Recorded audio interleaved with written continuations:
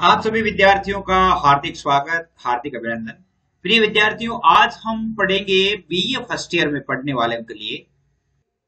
BA first year में, यानी BA first year geography का सिलेबस देखेंगे। आपके जो नया सिलेबस है, उसमें क्या चेंज हुआ है, किस प्रकार के प्रश्न आते हैं, कितने प्रश्न आते हैं उनमें से कितने प्रश्न आपको, यानी कितने प्रश्न करने होंगे, किस प्रकार का पेपर आएगा, इन सभी के बारे में आज हम जो है वो पढ़ेंगे। और बहुत ही इंपॉर्टेंट टॉपिक है तो इसलिए आप जरा देखेंगे। यानी जो ज्योग्राफी है, इसमें आपके प्रैक्टिकल कितने नंबर का होता है? एक तो इसके अलावा थ्योरी के जो अंक है, वो कितने नंबर के होते हैं? इसके बाद आपके दो पेपर होंगे, दोनों पेपर के नाम क्या है? कैसे इनमें से प्रश्न आते हैं, उनका पाठ्यक्रम आपका क्या है, इसके बारे में हम पढ़ते हैं और देखते हैं, आपको बताता हूँ कि पाठ्यक्रम आपका कैसा है, इस पर आपको कितने नंबर लाने होंगे कौन कौन से चैप्टर आपको करने हैं, कितनी इकाई में बांटा हुआ है, किस प्रकार के प्रश्न आते हैं, प्रश्नों को हमें किस तरह हल करना है, उन सभी के बारे में आज हम पढ़ेंगे। तो आइए देखते हैं, आपके सिलेबस से ही शुरू करते हैं। और उसी के बाद मैं आपको बताऊँगा कि इसमें आपको कितने चैप्टर पढ़ लेने चाहिए ताकि आपके अच्छे अंक आ जाए। यानी मेन बात यह है कि इसमें आपके जितने भी अंक है, वो अच्छे आने चाहिए वो कैसे आए, इसके लिए हम आज चर्चा करेंगे इस पर पाठ्यक्रम पर, पाठ्यक्रम के साथ में। तो आइए देखते हैं उस सिलेबस को और उसके बाद विस्तृत चर्चा करते हैं। तो ये देखिए बीए पार्ट प्रथम भूगोल।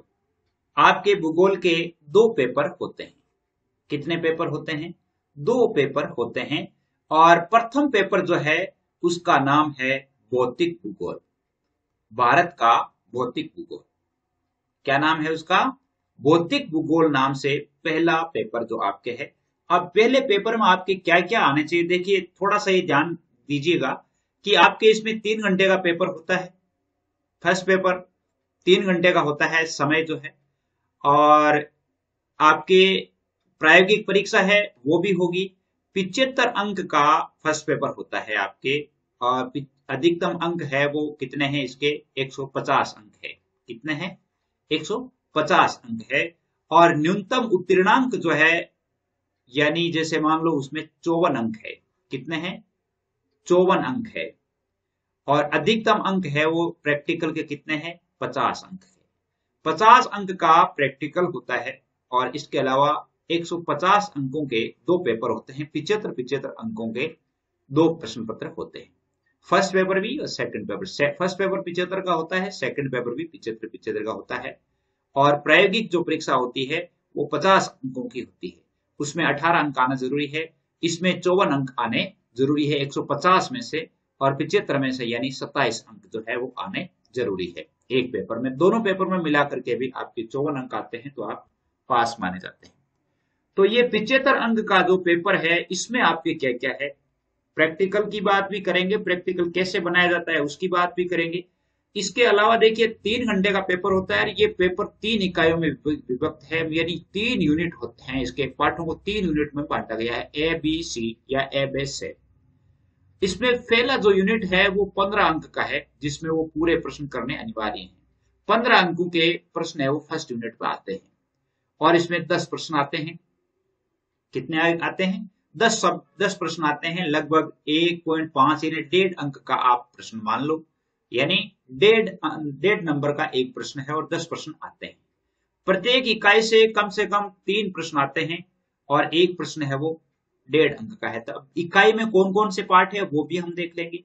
बे भाग होता है, उसमें भी पंद्रह अंक ही आते हैं। भाग ए भी पंद्रह का है ए बराबर पंद्रह अंक और बी भाग है, वो भी पंद्रह अंकों का ही होता है। और उसमें कितने प्रश्न आते हैं? पाँच प्रश्न आते हैं।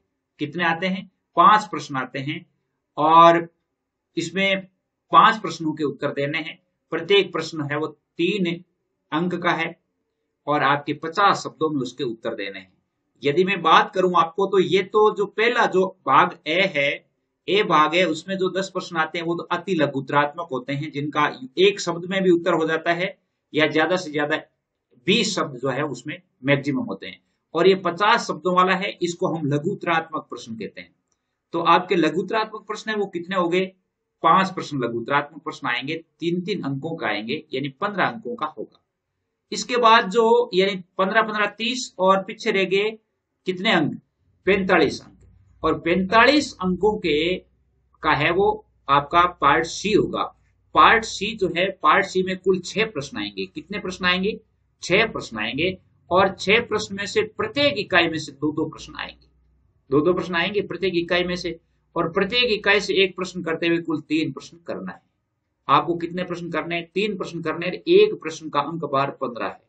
तो इस प्रकार क्या हुआ कि तीन प्रश्न तो बड़े करने हैं आपको तीन प्रश्न बड़े करने हैं पाँच लघुतरात्मक करने हैं और दस अति लघुतरात्मक करने हैं। यानी अठारह प्रश्न आपको करने हैं। कितने प्रश्न करने हैं? अठारह प्रश्न करने अब आप देख लीजिए आपके इकाई ए में जो है कौन कौन से पार्ट है। इकाई ए में भौतिक भूगोल की परिभाषा है, सौर परिवार है, पृथ्वी की उत्पत्ति है, पृथ्वी का आकार और आकृति है, पृथ्वी की गतियाँ है, इसका उपग्रह है, सूर्य ग्रहण और चंद्र ग्रहण है पृथ्वी के अभ्यंतर की भौतिक और रासायनिक अवस्था है, पृथ्वी के अभ्यंतर की संरचना है मतलब पृथ्वी की आंतरिक संरचना है, पेटियाँ है, भूवैज्ञानिक समय मापनी है, और वेगनम, वेगनर का महाद्वीपीय विस्थापन सिद्धांत है, प्लेट विवर्तनी की समस्थिति समस्थिति है ये तो आपके हैं, यानी इकाई ए में, यानी ए भाग में।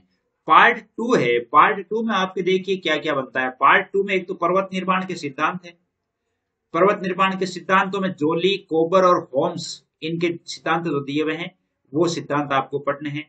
इसके बाद है भू संचलन है। भू संचलन में आपको पटल विरूपण बल भ्रंश और वलन, आकस्मिक अंतर्जात बल, नहीं, ये पढ़ने हैं जैसे भू संचलन में आपको पटल विरूपण भ्रंश और वलन, और आकस्मिक अंतर्जात बल में आपको भूकल्प और ज्वालामुखी पढ़ना है। सेल, यानी जो सेल है सेलें जो है उनके प्रकार पढ़ने उनकी विशेषताएँ पढ़नी है। अपक्षय और मर्दा निर्माण क्रिया को पढ़ना है औटोपी को पढ़ना है अपर्दन की के बारे में पढ़ना है।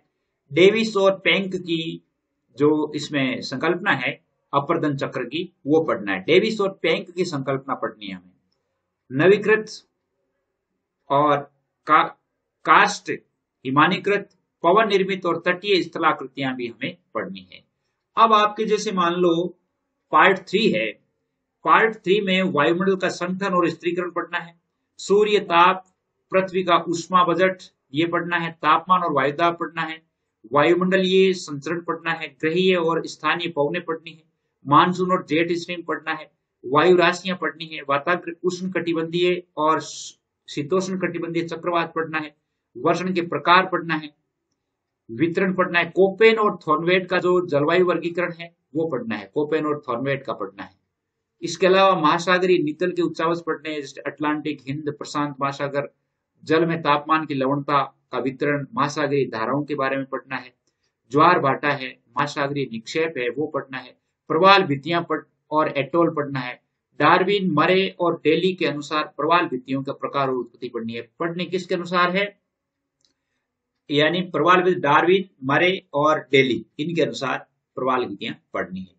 अब आपके, जैसे मान लो ये बहुत सारी किताबें, उन बहुत सारी किताबों में आपको प्रश्न, इनके टॉपिक मिलेंगे। सविंदर सिंह बी एस चौहान की किताब है, डॉक्टर एच एस शर्मा की है, डॉक्टर आर के गुजर की है, डॉक्टर यानी जैसे मेमोरियल रतन जोशी की है। इनमें से, इन इन किताबों में से जो है, वो लगभग चैप्टर वो मिल जाते हैं। और वैसे आपको पूरा सिलेबस कराने का प्रयास है कि आपको पूरा सिलेबस करवाया जाएगा तो इसलिए आप मेरे साथ बने रहें। इसके अलावा दूसरा जो है आपके उसमें है राजस्थान का भूगोल। दूसरा पेपर आपके क्या है? राजस्थान का भूगोल है ये भी चेत रंग का है।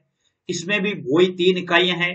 पहले इकाई में आपके दस प्रश्न है दूसरी इकाई में पाँच प्रश्न है और तीसरी इकाई में वही पंद्रह पंद्रह अंकों के प्रश्न कुल छह प्रश्न है पंद्रह पंद्रह अंकों के करने हैं।